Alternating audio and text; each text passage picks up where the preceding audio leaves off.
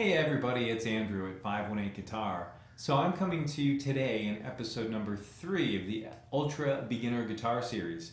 Now, episodes one and two kind of dealt with uh, how to choose a guitar and how to hold a guitar, all very important things. So today we're going to look at using a guitar pick to play your first few guitar chords and how those guitar chords should sound and some of the ways that you can make them sound really good in your learning process. So before we move on, it would mean a lot to me if you could like and subscribe so that I can continue bringing you content. So that is super valuable to me that I'm bringing you things that you can use. Now without further ado, let's proceed.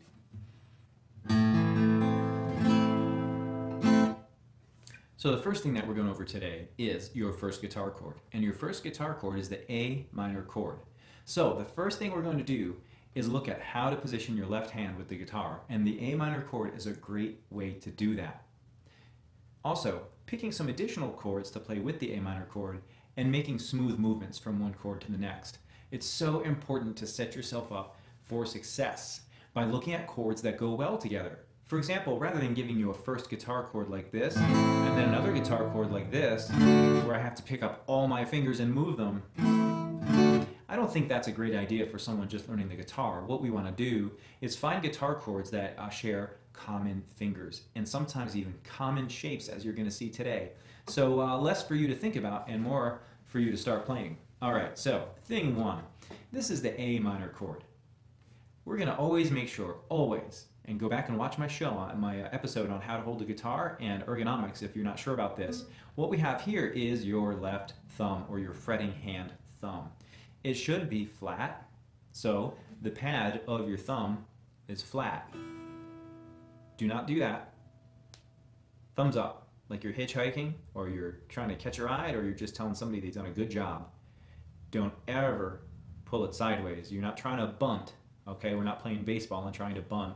We're trying to play guitar. So you're keeping that thumb up, and that thumb is flat and relaxed, and it's going to be placed behind the guitar neck. Now this is where learning guitar online can be kind of tricky. It's not 3D, so you can't really see what's going on here.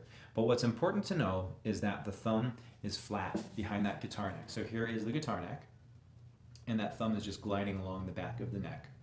Okay, so you're going to find over time that thumb might want to go sideways. Okay, if you do that now, you're never going to be able to play even some of the most basic guitar chords. Okay, so make sure that thumb is up and flat. There we go. Now, these silver things are called frets. That's F as in Frank, R-E-T. Frets, that's a fret.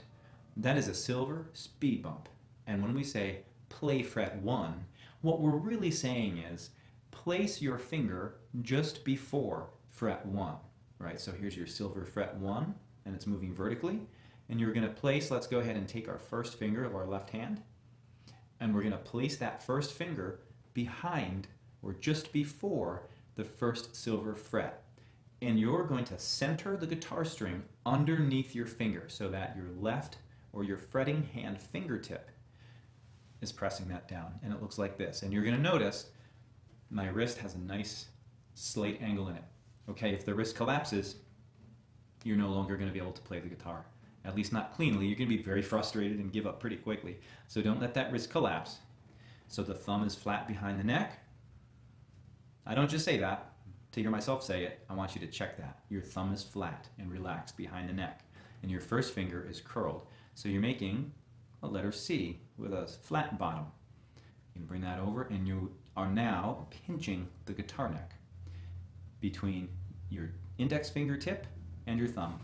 And what we're doing is we're pressing the second string up from the bottom. We're pressing it just before fret 1. That's a C note. All right, and we want to press it and see if we can hear that tone. You're holding your guitar pick. You're not holding it like a potato chip. No way. You're not holding it like a business card or a piece of paper. What you're doing is you're curling your right hand finger and you're laying the guitar picks broad or fat side along the length between your little knuckle and your fingertip. And you're trapping it with your thumb so the pick makes a 90 degree angle with your thumb, the broad side of your thumb. And now you're going to take this over and point it into your guitar's hole, or if you're on an electric guitar, you're going to point it toward the guitar's body. So there we go. You're going to now rest that guitar pick on string two. It's a little hard to see string two here, but I'm going to trace it over for you, and I'm resting my guitar pick on string two. Your hand, your picking hand is flat and relaxed, and the wrist is flat and relaxed. You're not doing this. No way, right? Don't want to do that. And you're not doing this. Your wrist is flat and relaxed. Go back and watch the ergonomics video, the prior episode, for more tips on that. So we've got our guitar pick resting on string two, and we've got our first finger resting on just before fret 1 of string 2.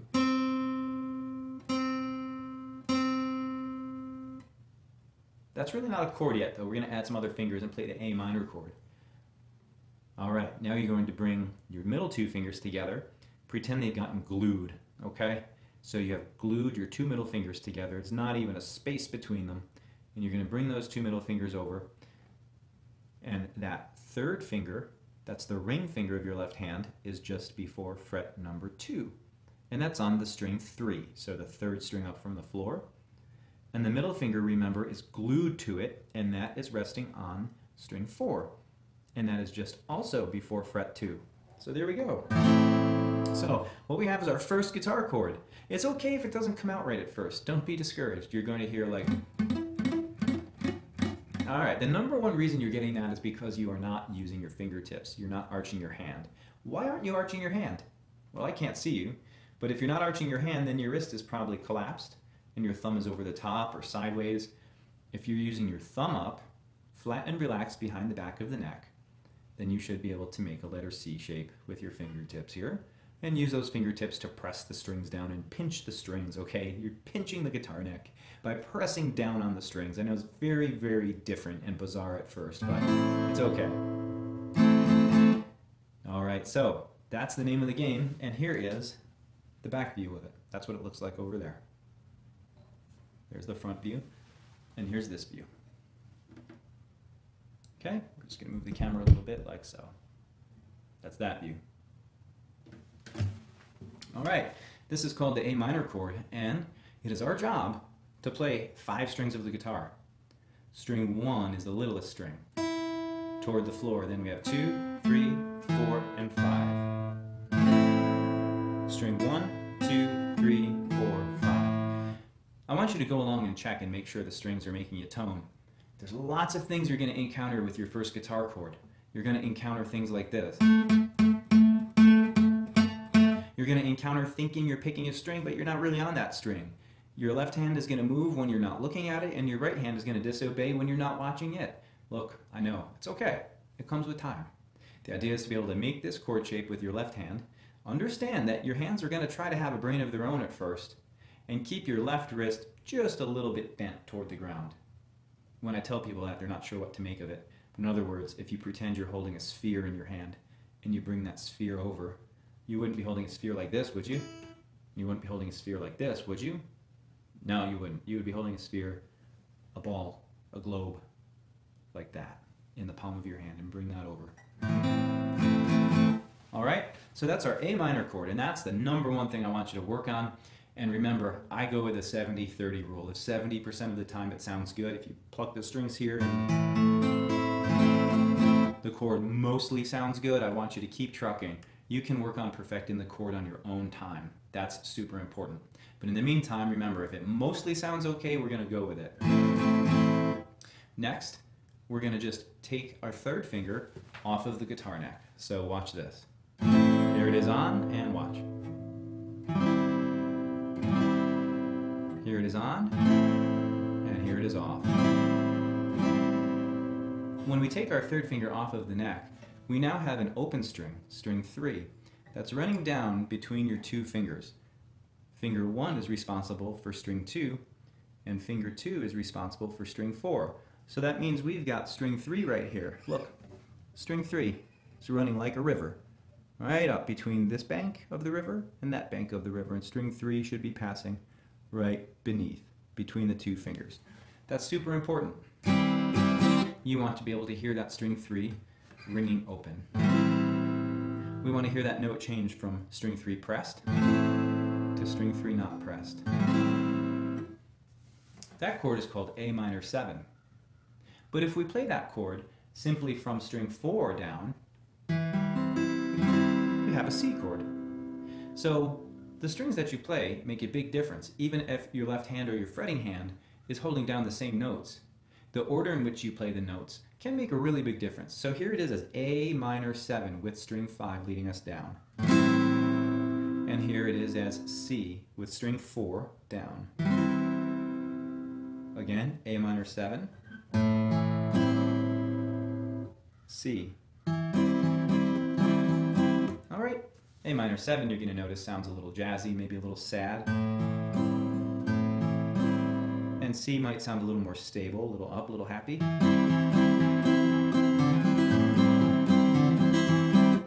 So that's the idea. So we're going to be working through this beginner series, and so your first bit of homework is to play uh, these two chords. I'm going to give you one more tactic, one more thing to work on before we get into episode two. One more thing is make it a smooth move. What does that mean? Well, what it means is I want you to practice lifting up this A minor chord. Lift it up. It's frozen in time. Lift it up in the midair, I want you to shift it over and I want you to put your fingers down in the exact same shape, but on strings five, four, and three. Wow, what a different sound than A minor. Let's do that again. Here's A minor, pressing string two, string three, and string four. And now we have E. Lift, shift, place. All right, don't worry about like switching the chords quickly. Don't worry about strumming patterns. Right now, your main goal is to learn that A minor chord, take the third finger off and enjoy that, and put the third finger back on. And then, when I say play the chord, what I mean is strum the guitar pick by stroking it down the strings toward the floor. Finger off, finger back on. Then I want you to pretend somebody froze your hand in this shape and you're going to walk around town with this hand shape well, you know what? You're going to lift that hand shape up, shift it to one fatter string each. Do not crawl. Let me show you what I don't want you to do. Oh, it's time to change chords. Oh, there's that one. Oh, there's that one. Let me get that darn first finger over. Uh-uh. Stop. Do not do that. That's going to torpedo your playing forever. Do not crawl your fingers. That can halt your playing faster than anything. You're going to lift, shift, and place in the new position. So I'm going to play that a little bit for you first. I'm going to play the A minor, the A minor 7 with the third finger off, and then the E.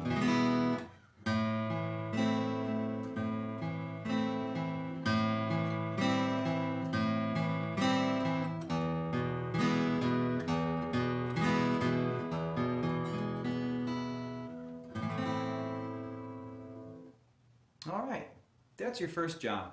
It's going to take a week or maybe two weeks of daily practice, 10 to 30 minutes a day, to be able to play this. But it's so worth it. Don't do marathon sessions. There's nothing to be gained from marathon sessions. All right, so it's just going to stress out the tendons of your left hand and serve to frustrate you if you're doing marathon sessions. And I'm just going to jam on these chords a little bit to give you an idea of the beautiful music that can be made from them, no matter how many years you've been playing. I'm going to use my fingers a little bit to pick the notes, and then I'm going to use my pick.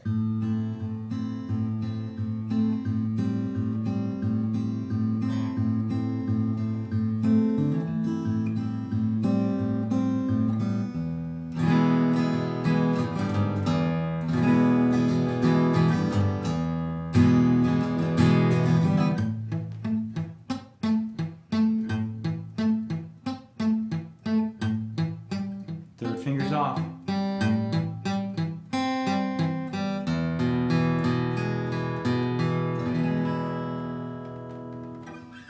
All right. It was so nice to help you out today, and I really hope you enjoyed this lesson. Leave me some feedback and comments below on uh, how I might be able to further assist you.